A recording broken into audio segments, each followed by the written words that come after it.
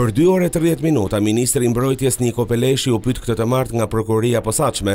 pasi la dyert e spak, ai refuzoi të japë detaje për arsyet e marrjes në pyetje. Për çfarë i S'kam asgjë për të thënë. Peleshi mësohet se i dha shpjegimet e tij për prokuroren e posaçme Enkeleda Millonai në lidhje me hetimin për ish-zëvendëskryeministrin Arben Ahmetaj,